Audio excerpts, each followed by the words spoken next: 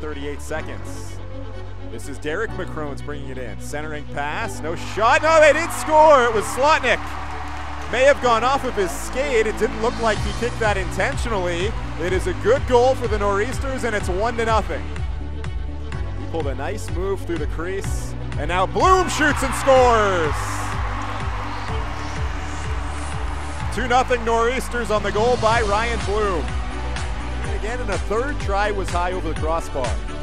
Now the slap shot from the point by Burr. Rebound by Selton Reich, and he scores. Top shelf. UNE still controlling it on the delayed penalty.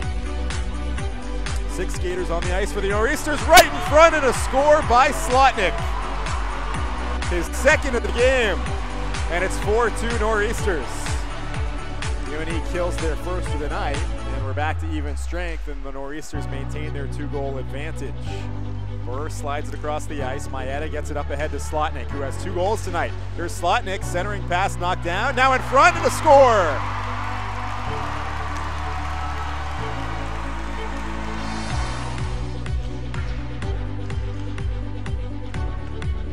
And here come the Nor'easters back on offense.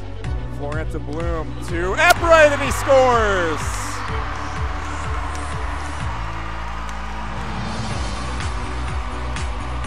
UNE has 52 shots on goal in this one. That one will not go on goal, but they may have another chance. They do, and it's a score by Christian Rossetti. Put the cherry on top of this one. It's a 7 2 lead.